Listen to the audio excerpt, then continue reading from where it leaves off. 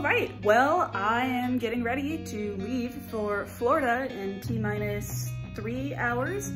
Um, I'm packed. Atlas is very curious about my luggage. Um, hey buddy, I'm, I'm not taking you with me, even if you do manage to fit in there. Now all that's left to do is um, fight against my travel anxiety. This is the first time I'm doing a solo trip since COVID.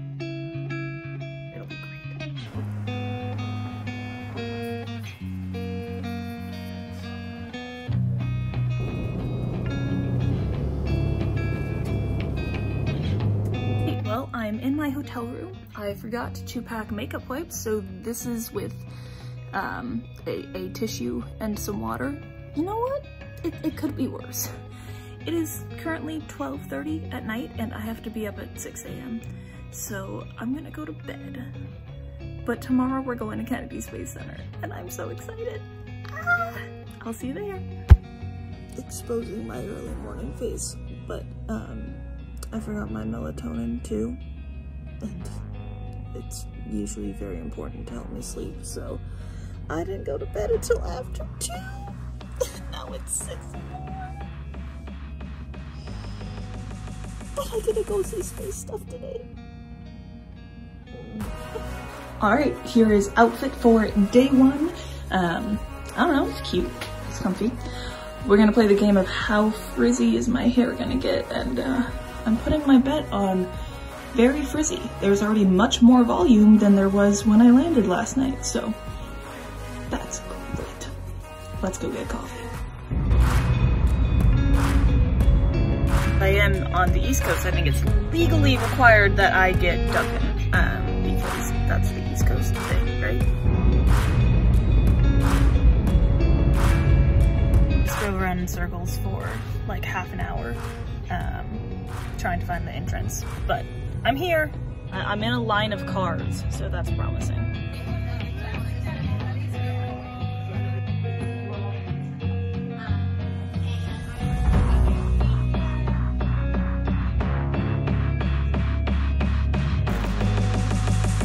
Update in the bathroom, everybody's introducing themselves. They are incredible people, and my hair is frizzier.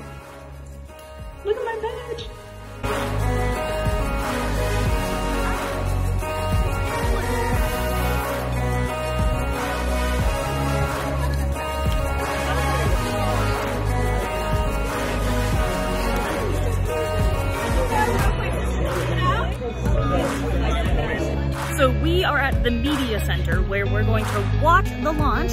You have the countdown clock over there and back there somewhere is, aha, there it is.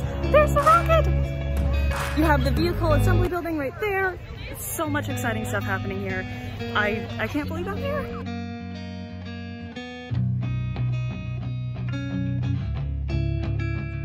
So I am now in the vehicle assembly building. This is where they have assembled the Apollo Saturn V rockets, the Space Shuttle, and most recently the SLS. It's a huge building and it's so cool to be in here.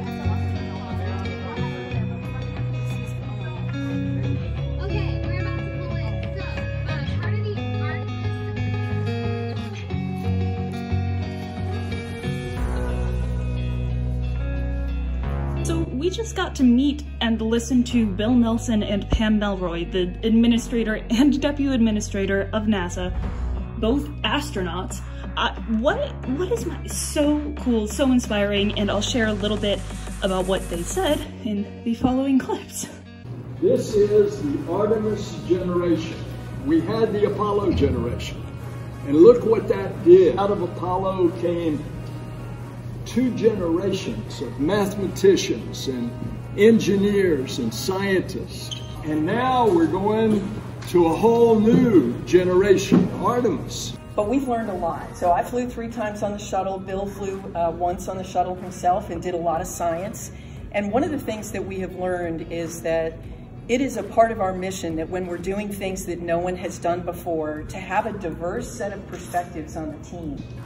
And just think, as we go back to the moon, and as we now don't touch down and leave, We're going back to stay. I'm personally excited. Uh, it gets me choked up sometimes thinking about the first woman landing on the moon.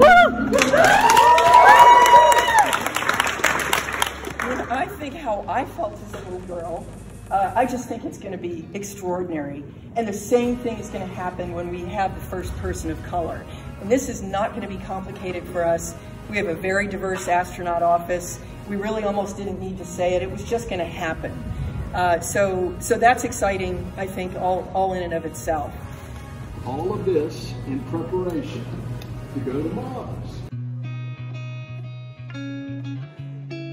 Another thing that's really different is you're seeing NASA's leadership bring along the international collaboration. You know, they're setting up an infrastructure, an architecture that invites us to expand from here. Like this is very much a beginning. What you're seeing is like the foundations of what the international community can now build upon. And you don't actually know what's coming. We don't know what's coming.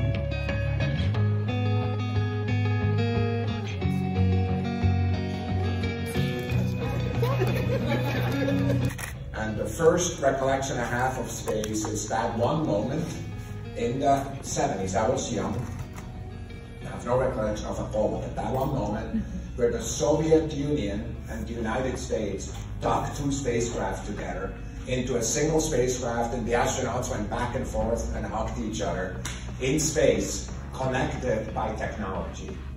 I thought that was enormously powerful. Of course, it's about rockets, it's about spacecraft, it's about looking at the universe in a new way, it's looking at the moon and, and learning how to live in places we've never been there. But it's also about taking the human condition and bringing it to a higher level and kind of do things that is truly good by working hard and working together as teams. So yes, you see the rocket, yes, you see the technology, but you see the amazing power of people coming together that's doing something that's really, really hard. And that is what hope is all about. Well, that's a wrap on day one. I am so tired. The four hours of sleep caught up to me about an hour ago. So um, I'm currently in line for McDonald's because I am planning on getting some food and then collapsing in my hotel room. But today was kind of ridiculously incredible. Like getting to see the assembly building, getting to see the rocket, getting to go to where we're gonna watch the launch, and then meeting so many amazing people. The director and deputy director of NASA, the like head of Kennedy, the head of science for NASA, so many astronauts, so many amazing science and industry people involved in the Artemis launch. Uh, really, really amazing, but my brain hasn't processed it because I'm too hungry and tired. So I'm gonna take care of that. And, um, and, and then yeah, tomorrow is another day. NASA Social Day 2. This is the fit today. We are going for the super nerd look featuring my new Artemis hat.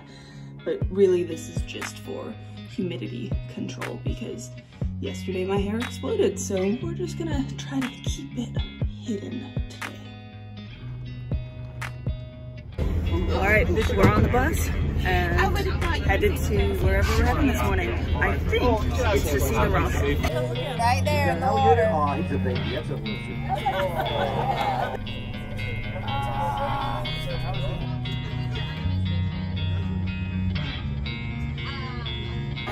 So we're already behind schedule today. The bus is getting checked by the canine right now, and then uh, hopefully we are going to get to go see a bunch more stuff. But it's always fun to see the vehicle assembly building.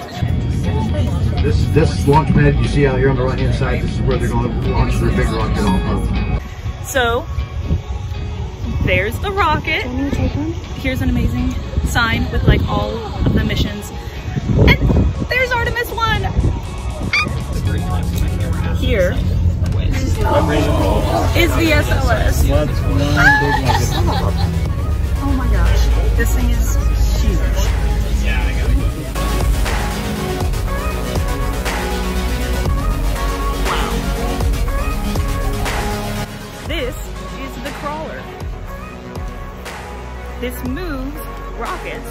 the vehicle assembly building out to their launch pad.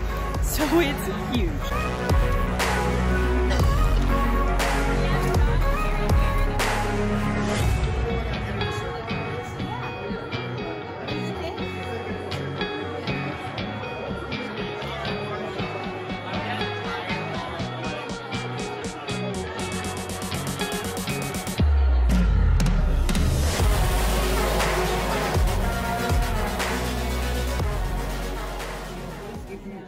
Was that kid. Started saying I wanted to be an astronaut when I was five years old. And I grew up in a small town in the middle of nowhere in northern Maine. I didn't know any astronauts, I didn't know anything about NASA, but I had that dream. And I think if you identify that passion and then you really work hard and you, know, you persevere, I think that the biggest thing to me is that you need to remember to be willing to take a risk and that along with those risks that you probably will and should fail, right? Because that's when we learn the, the most valuable lessons. And I wish that I had known as a child, and I would say to young people out there, is the only limits you have are the ones you place on yourself. And if you don't believe that you can do it, then you're never going to do it. And don't allow other people to tell you no. Don't let them put the limits on what you believe and what you think is possible. Um, but what all astronauts have in common is this fear of making a mistake. We try to do our best, but we are doing it. Because we're so, we have so much responsibility and we're so fortunate to be the ones that get to go to space. And we don't want to disappoint anybody out there in the public that are funding this mission, you know, so it's, our biggest fear is really just making a mistake. You're going around the Earth every 90 minutes, and you're seeing the beauty of the planet every chance you can get to any window or anywhere on the space station. And it's new every day because the weather's just the lighting, the time of day. And so it's just this big, beautiful marvel, and in 90 minutes you've got around the entire of humanity, recorded human history, and that's just something very humbling. And to be living in that element every day, and, you know, feeling that blessed to, to be there, it's tough to leave. Nailed it. So social is over. I am now going to head into the Kennedy Space Center Visitors Center and just kind of have some fun here. Um, we have to be back here at two in the morning for launch prep stuff. So um, I'm trying to debate whether I'm gonna actually sleep tonight or not. It'll depend on how much time I spend here. But it's a pretty cool entrance.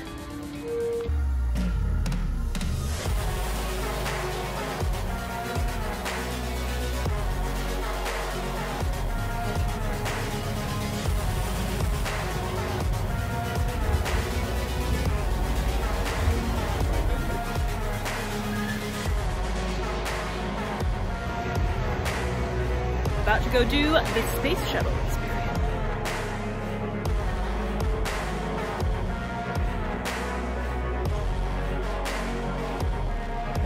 big things that the space shuttle program was able to accomplish was Hubble.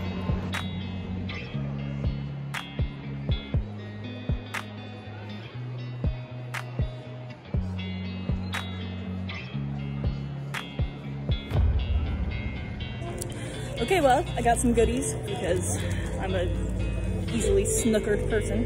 And, uh, wait, food! I'm getting food, going back to the hotel. Okay, well, it is 5.30. I'm back in my hotel. Um, don't mind the sweaty mess that is my everything, but I don't really know what to do now. I think I'm going to turn on the TV and set an alarm, and if I fall asleep, I fall asleep. Otherwise, I'm waking up at midnight anyways to go watch a rocket launch. What? Okay, cool. Bye. All right, editing Skylar here, and as we go into day three of this experience, as you probably know, the rocket did not end up launching, and so what you're about to watch is my descent into sleep-deprived delirium. Uh, just, just a heads up. Well, it is now 9.30, so sleep is not happening. I am watching the VMAs because that's what's on TV and listening to a downpour outside, which I would really like to wrap up quickly. Okay, it is 11 p.m. now. This is sideways. I went live for a while and now I am, um, I, I had coffee, so yeah, let's see how this goes. It is launch day. I am getting some gas, topping off the tank, and then we are en route. It is almost one in the morning and I didn't sleep, so yeah. All right, I'm checked in. I am in a line of cars and we're going to go onto the base in like 10 minutes. So far, everything is good. The lightning dissipated. They are fueling it up right now.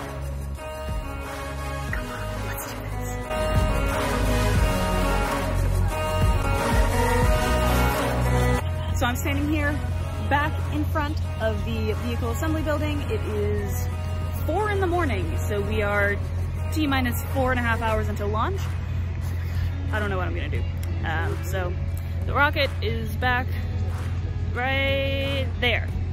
That's the rocket. So, uh, four and a half hours to kill, and I'll check back in with you later.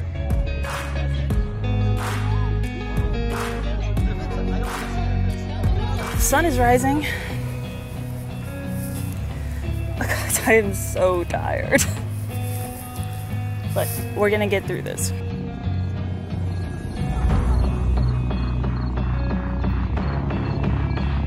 All right, so we are now officially after the original launch time. Um, essentially, what is going on is there's an issue with one of the engines. Uh, it's not getting fuel flowing in fast enough.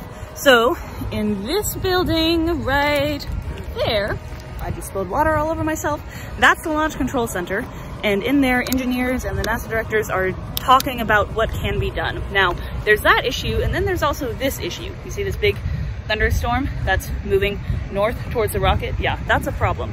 So essentially the other fun thing that's happening is that nobody has any Wi-Fi or data usage.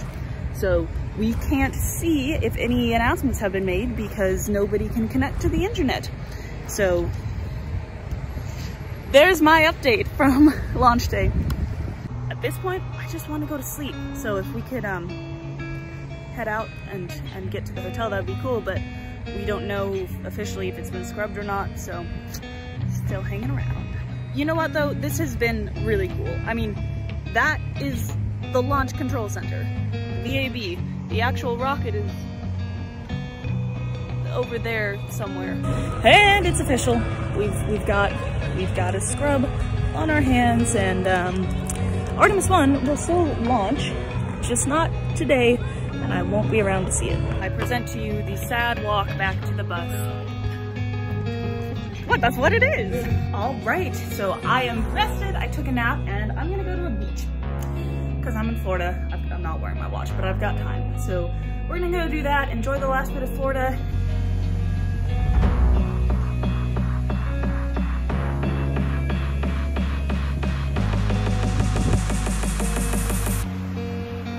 I'm leaving the beach. What a day. And we're back in the hotel and that is a wrap. Um, I've got to clean up everything and I'm gonna watch TV for a while and then go to bed.